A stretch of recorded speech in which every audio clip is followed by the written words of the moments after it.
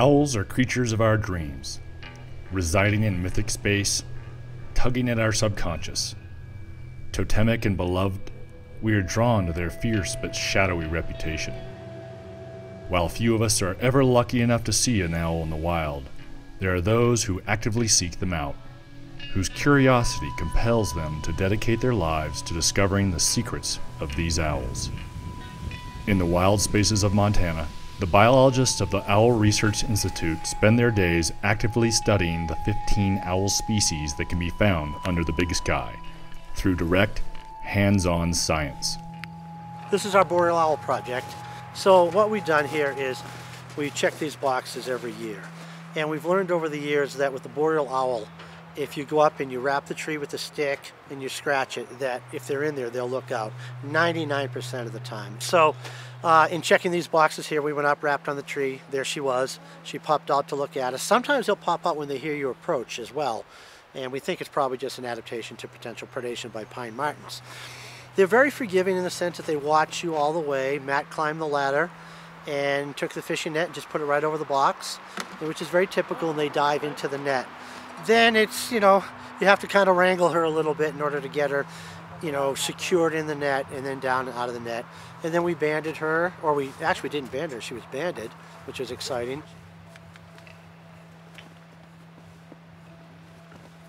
And uh, took some measurement data, took some feathers,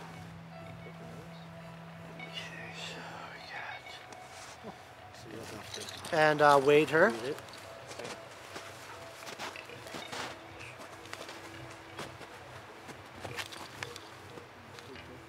Check the box. Uh, she had four eggs. She had five voles in there, three redback voles and two other voles. We're not sure which ones yet. Probably a long-tailed vole. And uh, so what we'll do now is we'll just keep back. We'll kind of estimate when we think the chicks will hatch. We've got her marked and now we'll come back and we'll look at the chicks. We'll probably do some growth rate stuff, take some feathers or blood, and, um, and get them all banded before they leave the box. The Owl Research Institute studies many species, in this case northern saw-whet owls, using many similar techniques.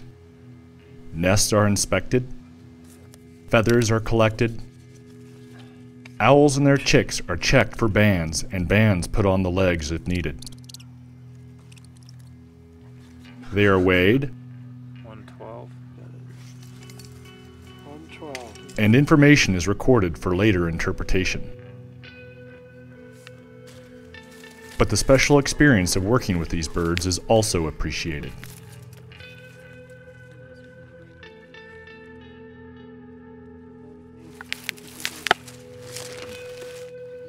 However, different owls have evolved for different niches, requiring different study techniques. For instance, short-eared owls live in grasslands and finding their nest requires four-wheelers dragging a long rope. The rope passes over the nest without damaging them, but the adults flush off the nest revealing its location. The nest location can then be marked for later study. Advances in technology allow for new opportunities to expand the types of information that can be collected. Miniaturized GPS backpacks are now small enough to safely fit onto an owl's back. No one really knows where these owls go from season to season, or even year to year. The opportunity to discover answers to questions like these are ever present for independent scientists who are able to spend so much of their time in the field. With datasets decades deep, their work in the field is invaluable to the scientific literature. While funding is always a challenge and a limiting factor, these scientists have a passion for owls and a life lived in the field, and little discoveries that build over time to increase the overall knowledge of these amazing birds of prey.